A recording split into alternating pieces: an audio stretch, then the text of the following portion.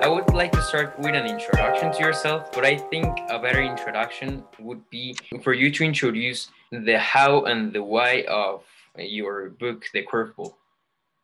Yeah, sure, of course. So, um, I'm, I went to law school. I graduated from law school. I graduated in 2018. I decided to, write the curveball because you know I went through some personal adversity in my own life, and I love baseball, which is a sport so popular in Mexico, Latin America, South America, Central America, and I wanted to find a way to combine the lessons I learned from my adversity with sports and with baseball in particular. I mean, I didn't know that COVID would become the curveball. That we it would be the curveball of curveballs, but um, I wanted to find a way to do that, and it was inspired by my own personal journey and the lessons I learned and the people I was in, influenced by. And so, what was well? This was like the original inspiration for the book, right? And what was what were some other influences you have? Well, I mean, pretty much all of it is is documented like in in the book from my, my personal journey uh, I was obviously when I was writing the book, I had many other inspirations. So, you know, my father being a very uh, particular one in terms of, you know, doing work that has a wonderful quality to it, um, in terms of getting that inspiration out, getting your words onto the page, and perfecting it, the craft, so to speak. But the inspiration to come up with the idea and you know the method and the characterization that was all very much my own the other another thing was I was influenced by the people I was around and the settings I was around. So a lot of them were were formative people that when I was uh, in my own personal adversity, I was around them and they really helped me kind of get to the next level um, and gave me a great roadmap of skills that I uh, took, you know, in law school, after law school, and especially publishing this book. And so in the book, we get, well, we learn the story of Bryce, who is a baseball player, and he's going through some adversity, right? And so I would like you to talk a little bit about the book so that people listening who haven't read it yet can get interested in it and also get a general background. Yeah, for sure. So, you know, we find Bryce, he's a struggling baseball player, he's a struggling individual. Um, and why while people might not like this isn't a baseball book per se baseball is a book to shape a message but it's really a life book it's a book filled with inspirational wisdom and you know as you clearly articulated about you know inspirational fiction and self-help so that is the core thematic elements of the book in terms of the content you know we meet bryce he's on the downhill trend in his career right now he's struggling and he's lost. Um, and he meets this individual that takes him through lessons he learned in his past glory days and that would propel him for an even greater future. Yeah, and then this other guy has, well, four rules uh, for to face adversity, right? And well, which are those rules? So the four are uh, one base at a time. So really what that is trying to get at is, you know, once we're faced in this moment of adversity, you know, whether it's COVID or whether it's some other form of adversity, instead of having a big insurmountable challenge, we're like, oh my God, uh, we have to take it one base at a time. What is the next best actionable step we can take to ultimately get us to where we need to go? Um, and you know alone we alone can choose how we feel how we react and ultimately how we act uh, given the surrounding, surrounding circumstances okay and then we have this other rule actually yeah, so, yeah the other one is is choose your pitches so really mm-hmm. what that means is like you know swing in your circle of, of competence you know uh, when he meets another mentor in the book it's about he's in part with him like you know you can choose fear you can choose hope you can choose fear you can choose gratitude but you can't do them all at once. You have to choose the one that fits the present moment. You know i mean so often we are the man in the arena to use the teddy the teddy roosevelt quote but we alone can choose how we respond to that. You know what what rituals we take in so that is the third uh, kind of cardinal rule, which is remembering your rituals. And I think why that is so important is because you know they don't need to be grandiose rituals. They can be very simple rituals, whether it's dinner with family, whether it's uh, getting on the phone with a coach, whether it's talking with friends. But we alone can choose them when we are struggling, when we're stuck.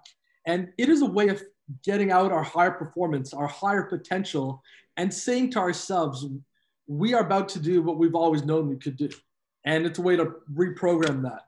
And we only learn that once we're stuck in, in that moment. I'd say the final thing is, is um, you know, adversity is a team sport, right?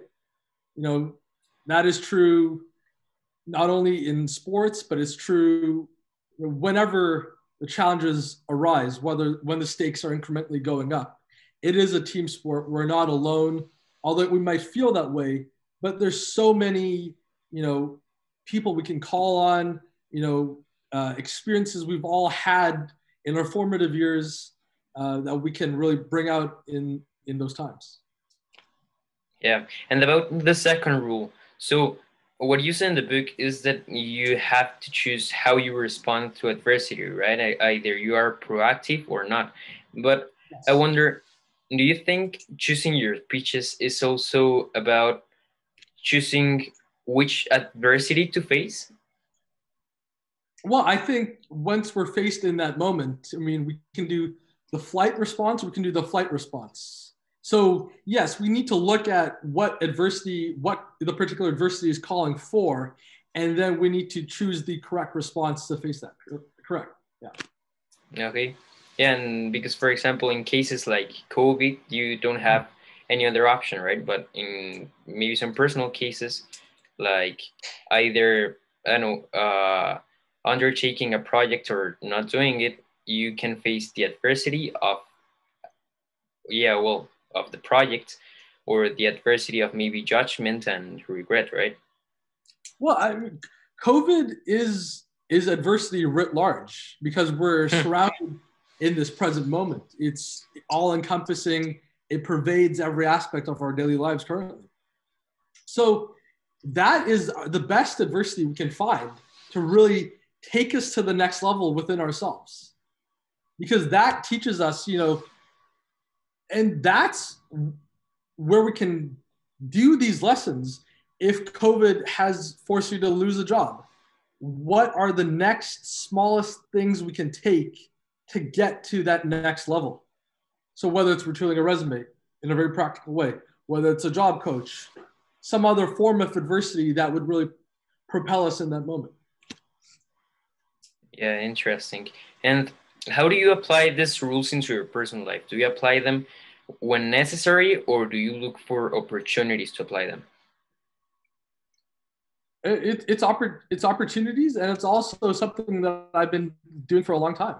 So when I had my personal adversity, it was all about you know going from one step to the next, to the next, to the next, to the next, and that has taken me from that point uh, to law school and beyond it's also something that you know I I reflect very I reflect back on those times as a means to get bring out my own best performance. So when I'm preparing for like whatever it is, the future, I look at those times as a way to bring me back and kind of regain what I need to do going forward.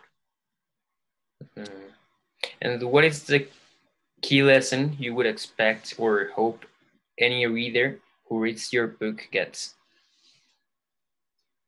So I'd say, you know, um, sometimes we might have to lose something to find everything. And that is powerful because I'm not saying you need to lose everything in a, in a very physical sense, but you know, if you've been knocked down a notch or a peg or something hasn't gone right, that is okay. That is a great place to begin. I'd say the second thing is you know, adversity really is a team sport. And I'd say the final thing, you know, from the book is you don't succeed um, in spite of adversity, yeah. you succeed because of it. I like that quote. And well, yeah, I was asking this because, you know, this year I as always set my uh, to be read uh, goal, but I think it is more important like to apply, and so that was why I am curious about how how to apply the lessons in the book. And yeah, I think that uh, that part of succeeding because of adversity and because of failure is also an important part. For sure, and I'd, I'd love to share another um, yeah, sure. lesson the readers would take from page 43 of the book of the curveball, and that is adversity loves your ego. What I mean by that is adversity loves the part of you that is caught up in the grandiose, chasing outward perfection at the expense of inner reflection. So it loves that part that refuses to grow, refuses to regrow, to re engage. And that's, we don't want to be stuck in, a, in that moment when it comes by with a two by 4 mm-hmm. And well, now returning a bit to what we were checking about some moments ago, in the book, uh, Bryce discovers what he's meant to do after all this adversity, right? And I'm not actually saying what he does to not spoil the book. Um, what is that part inspired by what you were talking about uh, about succeeding because of adversity? Yeah, well, exactly. I mean, a lot of those key lessons uh, are based on my own personal experiences when I had my own personal challenge. So, you know, I'm a big believer uh, in the quote, and I think Plato said it well. And he said, you know, uh, everyone is facing a battle we everyone knows nothing about. So those are very personal moments that I chose, and I, I put it together in fiction form. And because I think you know what is most personal is ultimately what's most universal as well. And if you are going through it, countless other people are going through it as well. Yeah, I agree. And well, uh, here I want to talk about another thing, but uh, so Robin, as your father, has had a big influence in you, right? And mm-hmm. what has been the biggest lesson you learned from him? I could write a whole essay on that. Uh, a whole book. Yeah. I'd say, you know, be someone that like just gives impact wherever you can. So the desire of just giving impact uh, not chasing, you know, fame for fame's sake, um, just being impact driven, uh, and being someone that you know cho- chooses a very original path that is not afraid to go off the beaten track, so to speak. In you know, um, law and law, you know, uh, I'm a law graduate. You know, my dad was a lawyer, but you know, choosing a different path that is ultimately aligned to your passion that that is those are some of the key lessons I've learned. Yeah, that's a great lesson. And what does impact mean to you? Because I, I take it as serving, or what's your opinion there? Yeah, it's serving and it's also helping people that you see yourself in and mm-hmm. wanting a better future and a better life for them, whatever they may choose to do. But you can feel good knowing that you've helped them kind of be on that path, be on that way. And do you think that is the reason why maybe personal stuff is the most relatable? Absolutely. Absolutely. Mm. If you don't if you don't have that personal touch, that personal background doesn't have to be anything gigantic. It can be the simplest of things. But that helps build trust, that helps build empathy, and that helps build, you know, um, a great circle around you that people can say, this guy truly knows what it's like when I where I came from, or anyone truly wants to help me out. Mm-hmm. And that's also the power of fiction, right? Relating yes, to, to a certain absolutely. character. Absolutely. Like I've always been a, a big fan of, of fiction. I love uh, Jonathan Livingston Seagull. One of one of the favorite quotes from that book is um, he's talking about a seagull that wants to transcend the flock, and I just love that you know metaphor with with life and and transcending your limits. And well, now I would like to know what are some of your book recommendations besides from this one. Jonathan Livingston Seagull, uh, my favorite fiction recommendations. A lot of the classics. If you haven't read the classics, you know, Mark Twain, Oliver Twist, um, I loved the Hardy Boys when I was young for the mystery, uh, the detective stories.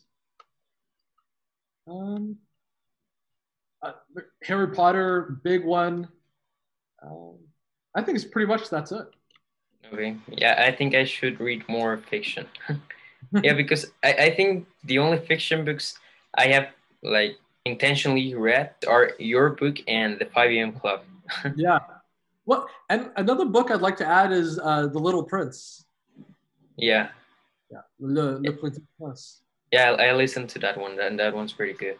And now I would like to know what was like your maybe biggest lesson in the process of writing the book. Sure, sure. In terms of the process of writing the book, is getting the idea onto page. That is the hardest part. You know, you're getting, you're putting your thoughts, however you know jumbled up they may be, onto the page. And the other part is is editing it. I know really going through and editing it and editing it and re-editing it.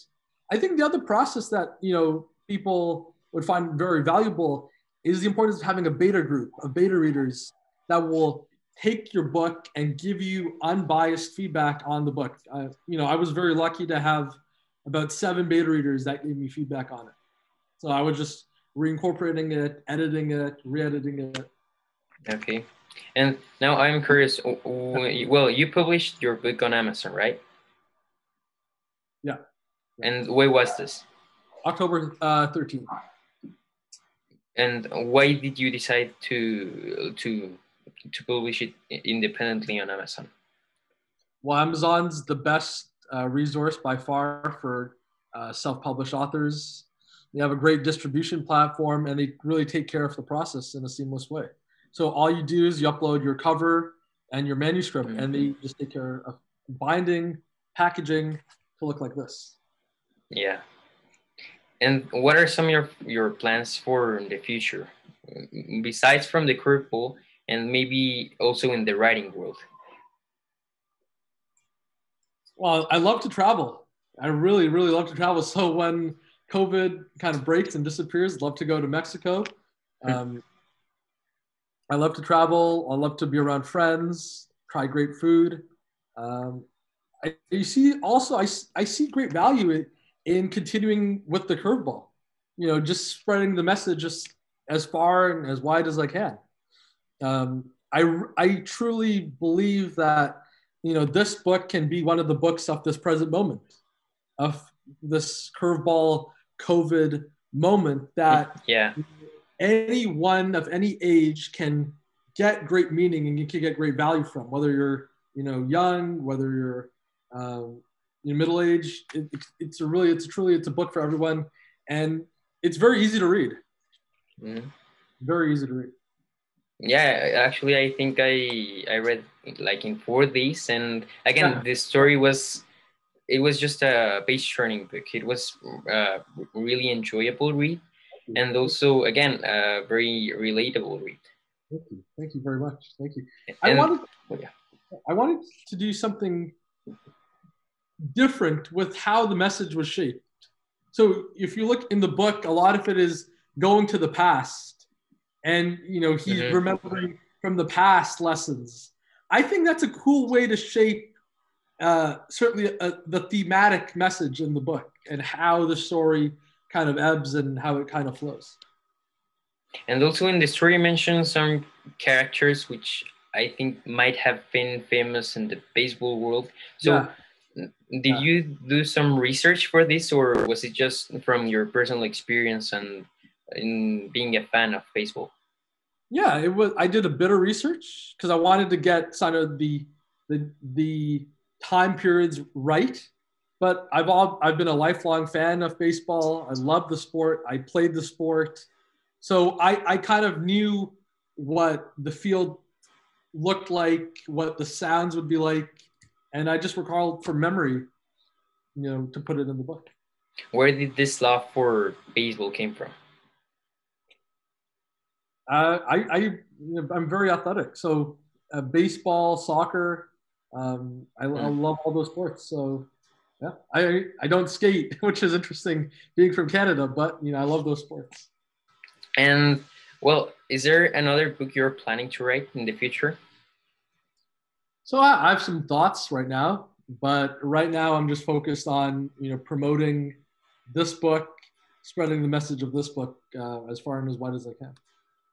Okay, and uh, I asked you what was your biggest lesson uh, in the process of writing the book, but what do you think is the biggest lesson for you from the book, or the biggest lesson you wrote into the book from your experiences?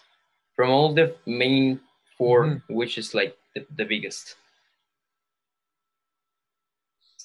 I'd say the the lesson on daily perseverance. You know, we've all had times where, you know, it's been hard where, you know, whether it's at a school or at a at a job to keep going on the little path, the step by step, incrementalism.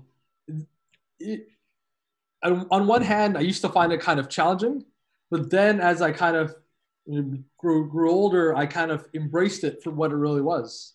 And it's one thing I thought would be very valuable to put in the book.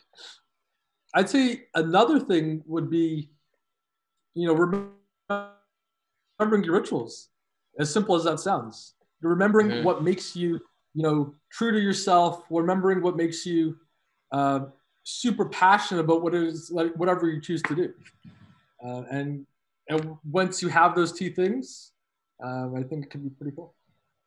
Okay. Yeah, and thanks for that clarification because um, what happened to me was that when I read about remembering your rituals, is that I thought about um, you know having like specific steps to face something. Like for mm-hmm. example, I don't know if I will have an exam, how do I start it or something. But it, I, I think it is more about um, knowing yourself, right? Or what, what do you mean there? It's remembering your rituals. It's remembering, you know, a ritual is something you know, that you do. It could be a daily practice, it could be a daily habit. But once you remember that, whether it could be the smallest of things, but you just need to remember that. You need to really, you know, delve deep into that. Because that, you know, if you've been doing that for a long time, chances are that means something very deep to you, very powerful to you because if you've been doing it for a long time it also forms your identity. Yes absolutely. Absolutely. Okay. I like it. Oh and well now i'm curious what has been something you have recently learned or discovered that you would like to share to us? Business to business like sales. How to really um, do cold call scripts in a, in a pretty fun way. Hmm. could you get deeper into that? Because you know, like I mean, in terms of like sales wise, like selling, uh, cold calling, you know, uh, people might not be proficient with like cold calling, but how to cold call businesses or individuals and really get a great response out of it. And how do you do that? well, I'm just learning right now. So that's but that's one thing that I found I'm just learning at the moment because I always like to just keep keep being refreshed of things, and it's one thing I just um, found found valuable. Okay. And well, we talked about fiction books, but what are some non-fiction books you would suggest? For sure. So I love I love you know personal development books. Mm-hmm. I love personal finance books. Um, I love the 5 a.m. I love the Intelligent Investor. I love uh, Perennial Seller by by Ryan Holiday, and that's a great book on on marketing, on getting your brand and I love how he frames the message between um, a, a, perennial seller and, and kind of a bestseller, and what is the real difference of a perennial seller. I think that was pretty pretty fascinating to read.